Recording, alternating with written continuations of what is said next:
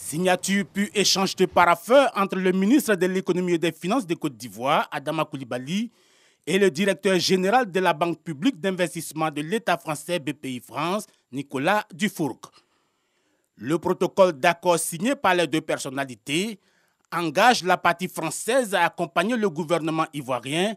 à réfléchir à la création d'une banque publique au profit des entrepreneurs ivoiriens, notamment les PME. Le principe, c'est qu'il faut un guichet unique pour les entrepreneurs, où on leur offre tout ce qu'ils cherchent, y compris simplement de dialoguer sur leur euh, plan d'affaires, leurs ambitions, etc. Donc la garantie, le financement de l'innovation, le financement de l'international et de l'export,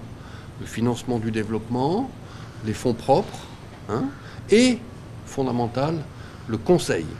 C'est une solution adaptée au développement de l'entrepreneuriat en Côte d'Ivoire qui pourrait profiter à environ 95% de la jeunesse ivoirienne.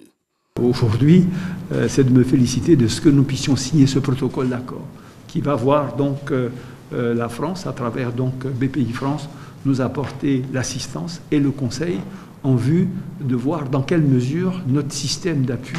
aux très petites entreprises et aux moyennes entreprises va s'améliorer, va nous permettre d'optimiser les résultats de ces entreprises-là, d'autant que la Côte d'Ivoire et la France ont la même vision en ce qui concerne la relance de l'économie, qui est le développement du secteur privé et l'appui de l'État au développement du plus grand nombre d'entreprises, qui sont sources de création d'emplois et bien sûr de richesses.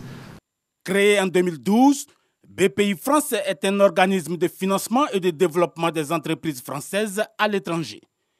Elle est en particulier chargée de soutenir les petites et moyennes entreprises